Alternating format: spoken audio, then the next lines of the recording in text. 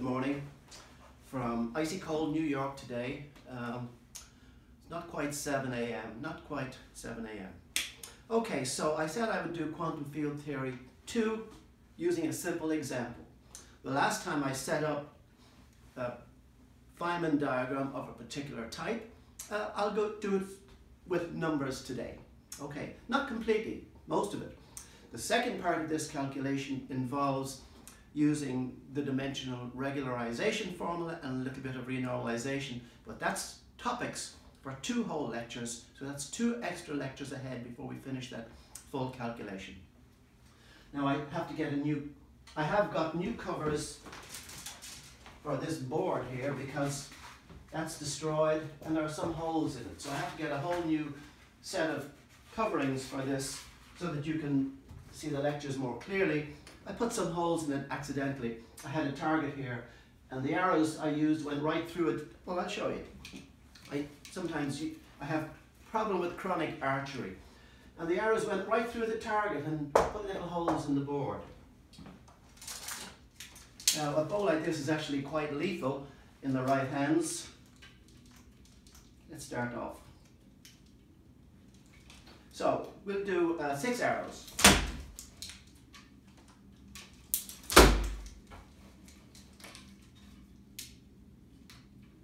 Now, see, I'm not, normally I could do that much faster, but right now, since I'm on camera, I'm not doing it very fast.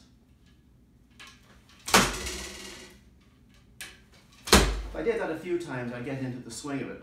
But in the right hands, horse bow like that, it's uh, Mongolian, can be quite lethal. Okay, so all those arrows are hit the target.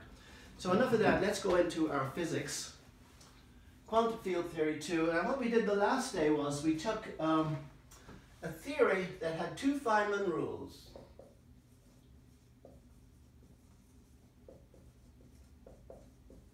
Now from a theory with two Feynman rules, we had only this kind of one. We had this kind of rule and this kind of rule. And we set up a Feynman diagram. Well, we did a two-point diagram.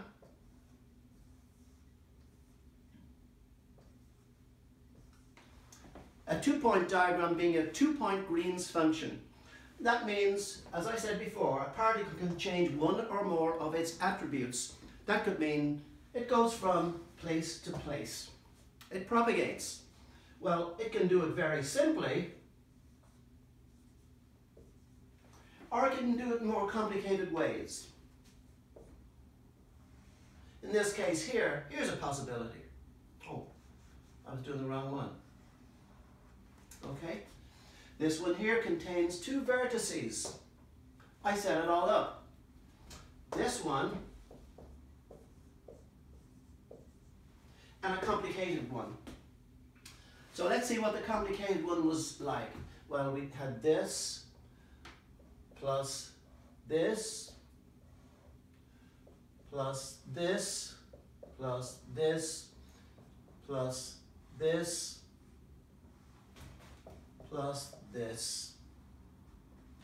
So let's put letters in. A, B, B, C, D, D, E, C, F, E, F, G, G, H. And stuck them all together, right?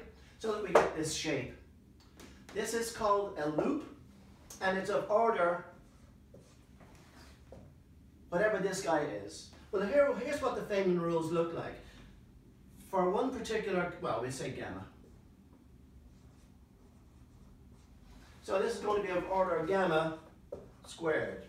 Now, higher order loops will have um, more complicated situations, but for this particular diagram, we worked it all out.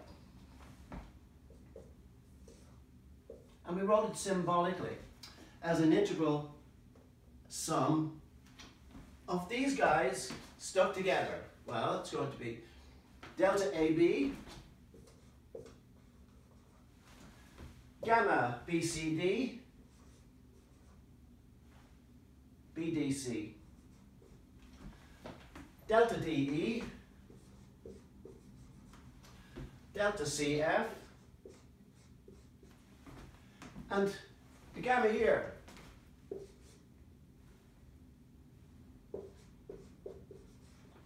And a delta GH. Well, what we do is we integrate over loops. Now, this is a Feynman diagram for the one loop case when we have the following. Now, let's get rid of that and show what kind of numbers would go in for this. And then I'll do a different case as an example.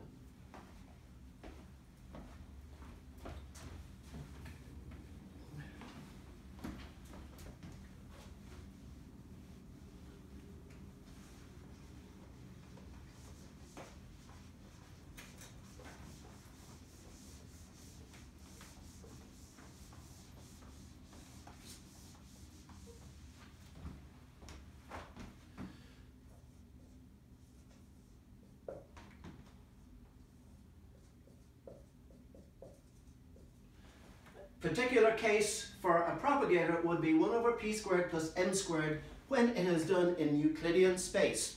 Talk for room for a whole talk there in Euclidean space.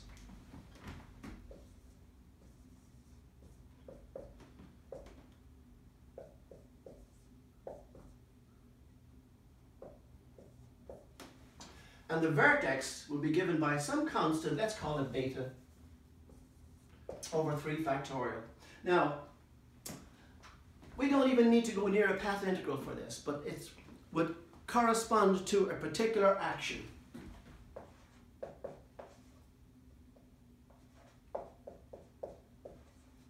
And the action is an integral over all space-time for a Lagrangian, and of course this is Euclidean.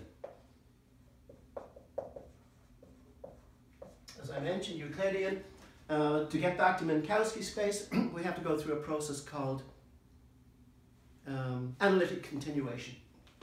These are the Feynman rules for a simple theory that would have a Lagrangian that looks like this. I have the two mu's downstairs because it's in Euclidean space, and that would look correspond to actually this.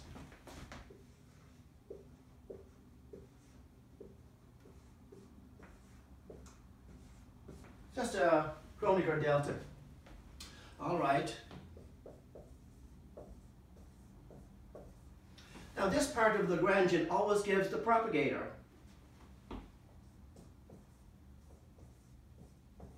Plus a potential.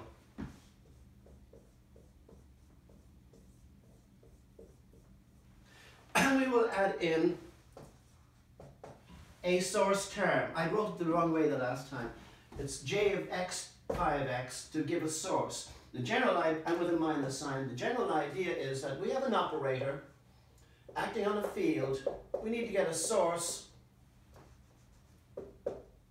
or a say particles being created or destroyed. All right. So this gives the propagator, and this one gives the Feynman rule. Now V of phi for this case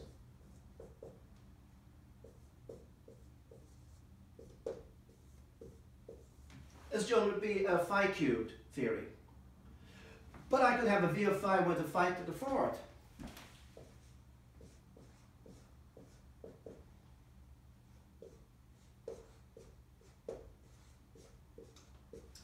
If I was using a phi to the fourth theory, we wouldn't have the gamma like this, we would have a different gamma. Let's do phi to the fourth. Lambda phi to the fourth in Euclidean space is a four-point vertex.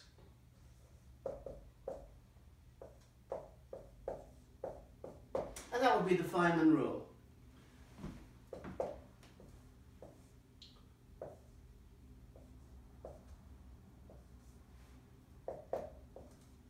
Two Feynman rules for lambda phi to the fourth.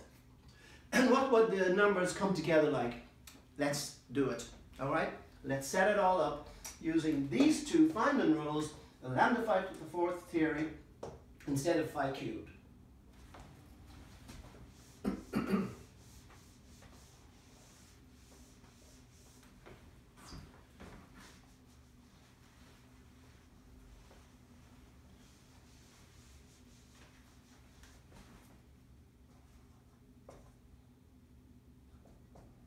Well, we first of all, we're going to have propagator.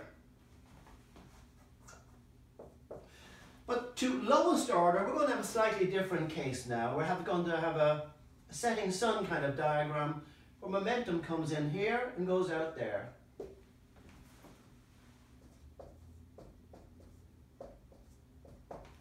So the two-point Green's function for momentum coming in and coming out the same way is going to look like this.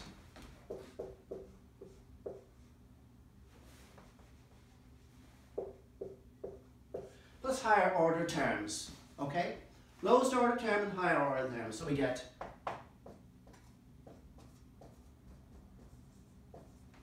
So now we break this guy up into parts, and what would that look like?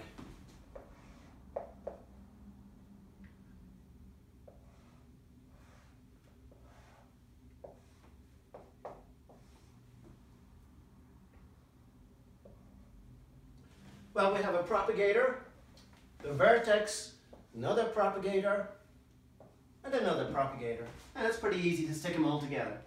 Well, this one goes in first. Now, I'm going to talk about this in a second. This factor here. First of all, we have these two propagators.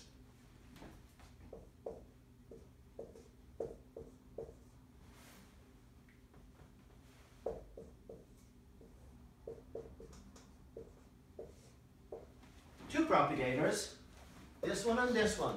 But now we've got a loop and vertex propagator.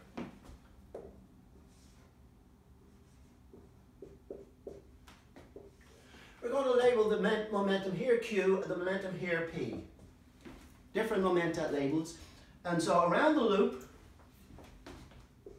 oh, Q.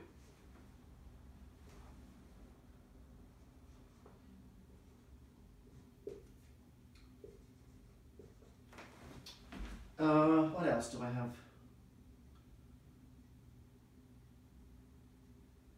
Okay, that's all. We're integrating around the loop. For q squared, have two propagators. Now we have a factor here. All right. We have to put in the gamma, the lambda, that's part of this job here. But with a, a small change. there are four ways to connect this diagram to this final momentum. And once I collect up once, there are three legs left, three ways to connect to this one. So I have to have four times three as being the factor on front of it. And then a minus sign, and it just gives lambda over 2 for that factor there. Now the next thing to be done is to work out this integral. We will do that in the next lecture.